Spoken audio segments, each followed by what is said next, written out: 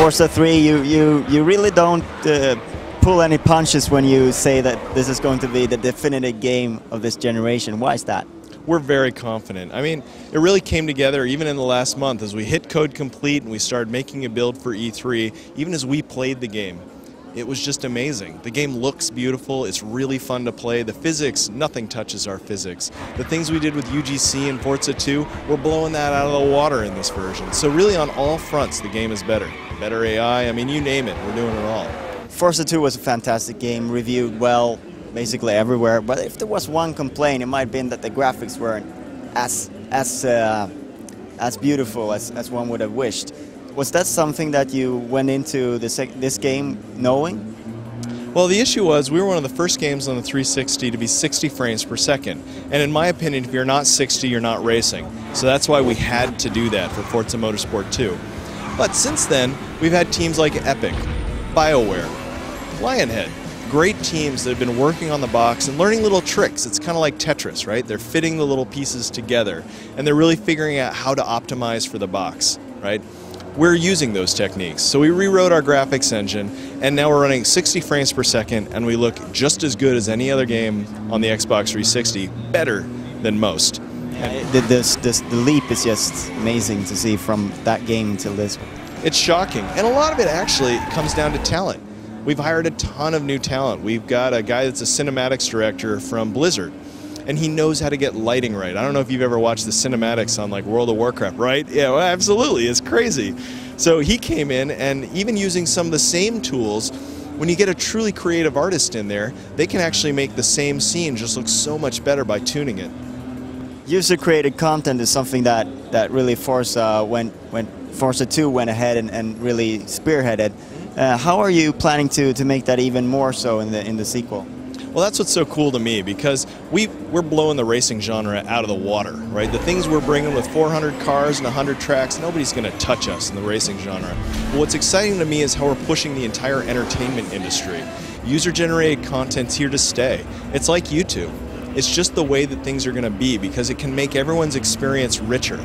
But again, it's not about turning you and me into the most creative dudes in the world because we're just not that, right? I'm not smart like that.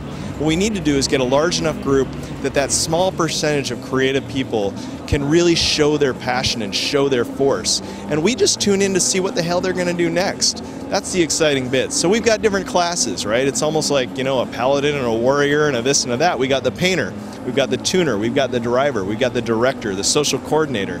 When they pull them all together in a video, it's going to be shocking, I guarantee you. So you, mentioned there a little bit about the assist. Could you could you advance like how? Because Forza is is a pretty hard game. Like I mean the the, the brake assist thing is like almost takes away. Does it make you like you're almost not playing yourself or? I don't know. I mean, it's like auto aim in a first person shooter. It's really the same thing. It's an assist. Does that mean you don't have skill? No. It just means you can have more fun. You want, you want to get more headshots? Auto aim's for you.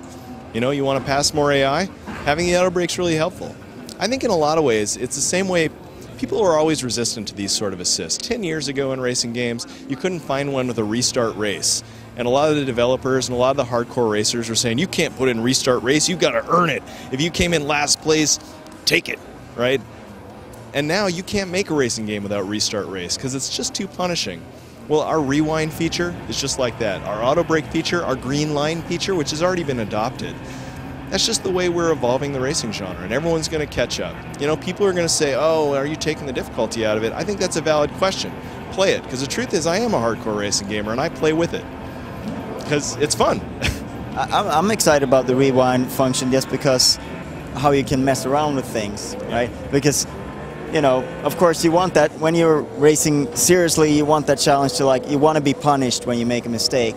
But then again, if you just want to have some fun, I mean, because there's two different le levels to that, that function. Absolutely. I mean, yes, it'll make you more successful and hopefully keep you from turning the box off, you know, if you've made a mistake. But you're Rage right. quit. Rage quit. Right, exactly.